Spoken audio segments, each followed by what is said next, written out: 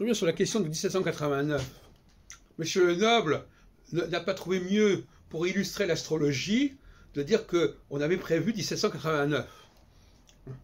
Eh bien, euh, c'est très discutable, parce que, euh, d'abord il le dit lui-même, on est passé de 1189 à 1489, 1489 à 1789, et on n'a plus qu'à attendre 2089 pour voir ce qui va se passer.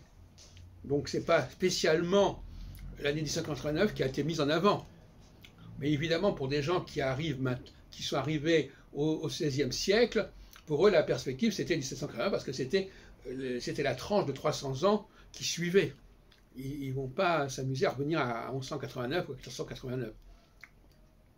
Cela dit, moi j'ai fait j'ai participé à un colloque de politique hermética sur le sujet, euh, et j'ai montré que, par exemple, notamment, il y avait euh, en, 1680, en 1588 et 1688, il y a eu aussi des alertes prophétiques très importantes. Donc finalement, on a l'impression qu'on a une sorte de focalisation sur le 80 quelque chose, 88, 89. Alors on, a, on a donc 1489, mais on a aussi 1588, on a aussi 1688, qui correspond d'ailleurs à la révolution, la glorieuse révolution anglaise. Et puis on a 1789, et pourquoi pas 1889, et pourquoi pas 1989, et pourquoi pas 1989 d'ailleurs qui, a abouti justement, si on peut dire, à l'effondrement de l'Union soviétique, et pourquoi pas 2089 euh, pendant qu'on y est qui viendra dans 67 ans. Donc, le système est saturnien.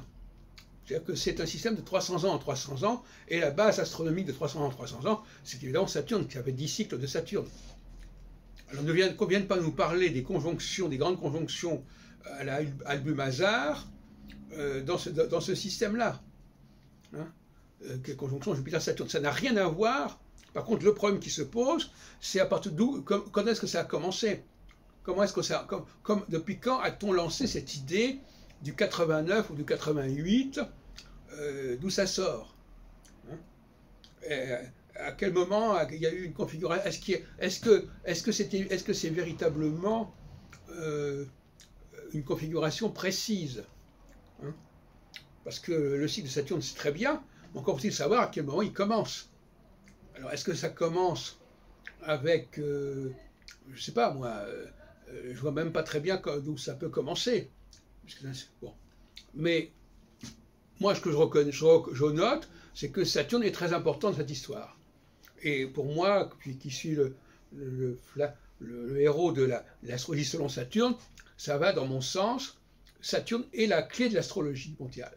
C'est la clé et la seule clé de l'astrologie mondiale. Maintenant qu'elle ait été utilisée à plus ou moins bon escient. La question, c'est qu'il y a une dimension saturnienne de la mondiale qui est tout à fait centrale.